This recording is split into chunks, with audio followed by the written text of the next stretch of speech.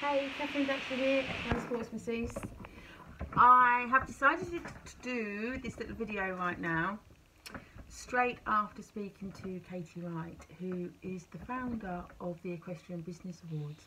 Now, I've had a couple of emails go back and forth to Katie, and obviously, she's checked me out and my website and my social media and things like that. And also, thank you to my amazing clients who had sent in any um, like testimonial type things um, and also about you know how I work what kind of person I am while I'm working around the horses and things like that. And also to thank everybody that comments on um, anything that I put up in regards to my business because also Katie Wright and her team have been checking out comments and replies and things like that. So I hope I haven't been swearing too much or too much of myself because it's definitely a professional self and then there's you know just us as we are you know and I am so proud of my business and um, how long it's been going and you know how I've seen it through some tough times how we've got through COVID um, obviously during the interview we spoke about highlights, um, things like that, and you know, my main answer, um, there was about five or six different questions, but the main question and the main answer that I wanted to go over was when she asked what is the pinnacle of your career. Now I have lots of horses that I have worked with that have literally been at the end of their tether and then have gone on and then competed or gone on to do whatever they needed to do. One little horse I spoke of, he was at the end of his tether, came to me for like three or four days. The owner came to see him. The owner thought I doped him because he was so manageable and so calm and you know, happy little horse again, could be turned away, wanted to be caught, didn't mind the head collar going on and off in the stable and things like that. And then after a few months, I get pictures of him jumping for the European team, but in England, and it's things like that could be a highlight because that pony was probably hours away from closed doors because he he literally had to be corralled to the back of the stable to even be caught to be brought to mine.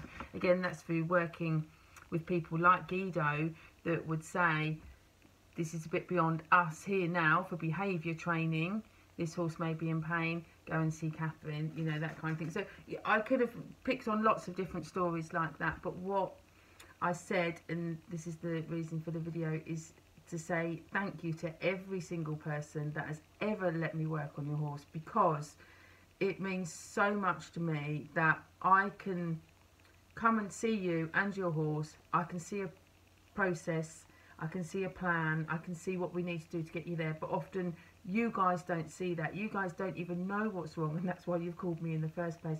So i needed to say thank you to everybody that has believed in me believed in what i do as a masseuse but also bringing in the mindful touch the way i work that even sometimes i don't understand how i know things. I just know. Um, something that a very good friend uh, keith goodwin is helping me establish now is how i do what i do sometimes people often say oh god you have such a good eye or i just pick up on things and it's like how did you know that and you know things like this um I know it's called the mindful touch. I can't really teach other people to do it yet, but hopefully soon um, I will be able to. But thank you, every single person that has commented or liked or anything on my Facebook page, or if you've shared my website, or if you've just entrusted me with your horse or your pony, it is an absolute honour to work daily with other people's horses. No two ways about it. Every day, every new horse I meet is the pinnacle of my career, if that makes sense. It probably was totally the wrong answer. A bit like when she said, can you do a bio? Well, you're everybody. There's been thousands of people. How Katie has worked with everybody, I've got no idea thousands of people and she's asked people to do like a 500 word bio. My bio wasn't a bio at all. It was literally talking about one horse and how that one horse has kind of led me down the path that I am on now today. You know so I don't seem to do anything by the book. Um, and I guess that's another thing with the mindful touch as well. You know we um, we just deal with what's in front of us and that's what we can deal with. And you know we just find our own ways in life which is wonderful. So Um, we spoke about many things. We spoke about holistic care. We spoke about welfare. Um, we spoke about continued development. Um, can, we spoke about what I else I would like to bring to the table, um, that kind of thing.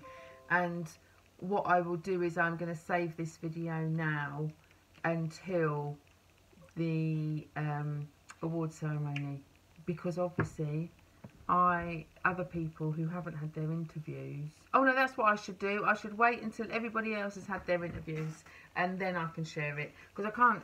Otherwise, people she might ask everybody the same questions. I don't know.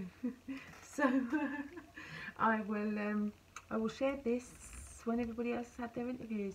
But thank you, everybody. Thank you to all the horses that teach me something new on every horse that I meet. Literally learn something new every day. Um, and yes, thank you to all my customers and clients and friends that have supported Back in the Saddle and myself for the past 17 plus years.